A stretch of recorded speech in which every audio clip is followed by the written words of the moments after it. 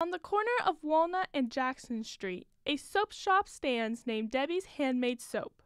They are celebrating their one year for their storefront this month. I started making soap in October 18 years ago actually. So my this month my store is 1 year old and my business is 18 years old. The shop has held many fundraisers in the past and is wrapping up one now. I had a rep actually contact me and he does he has done other fundraisers in the past. So in the spring of this year he said you know let's try to do some fundraisers with it and it has just been phenomenal. The shop does not only sell soap but they also sell all different types of bath essentials.